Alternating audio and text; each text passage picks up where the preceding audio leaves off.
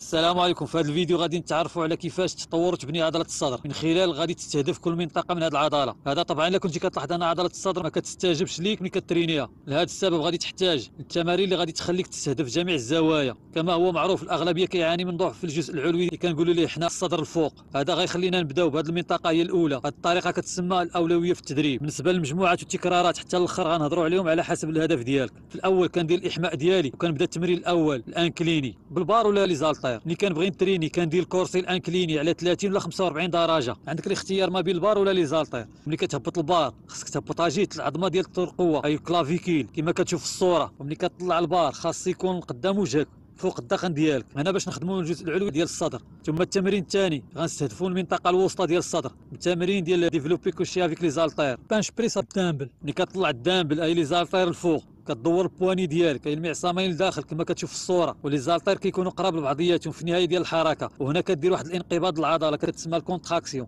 كتزير ال muscle ديالك كتكمل ال série ديالك بنفس الطريقة. نجيو للتمرين الثالث. هنا غنستهدفوا لتحت ديال الصدر. أي الجزء السفلي تقدر تريني هنا ب Smith machine تمرين décliné كما كتشوف على الصورة. خاص يكون الكورسي محني مزيان باش ما تستهدفش المنطقة الوسطى. حنا هنا بغينا نخدموا الجزء السفلي ديال الصدر. ولا عندك الاختيار تقدر تخدم التمرين vis-à-vis بال câble كما كتشوف على الصورة. أما التمرين الرابع غيكون écarté incliné avec les haltères هذا ثاني كيستهدف الجزء العلوي ديال عضلة الصدر. تقدر هنا تزيد الميلان ديال الكرسي الفوق باش تحكم الألياف الكاينين في أعلى عضلة الصدر. نجيو التمرين الخامس والاخير كيستهدف المنطقة الداخلية ديال عضلة الصدر. هو تمرين الرفرفه بالكابل. اي ال écarté بال câble على الكرسي ال plat كما كتشوف على الصورة. في نهاية الحركة من كتطلع الكابل الفوق تحاول دير واحد الانقباض لل muscle. بهذه التمارين كنكون استهدفنا جميع زوايا ديال عضلة الصدر وعطينا حقها في التدريب. بالنسبة للمجموعات أي السيريات كدير ما بين ثلاثة وأربعة لكل تمرين. كنتي غادي دير هاد خمسة تمارين خلي المجموعات غير ثلاثة لكل تمرين. ولا غادي تنقص شي تمرين دير أربعة المجموعات لكل تمرين. التكرارات أي les répétitions. الا كنتي غادي تريني على الضخامة la masse كدير ما بين 8 و12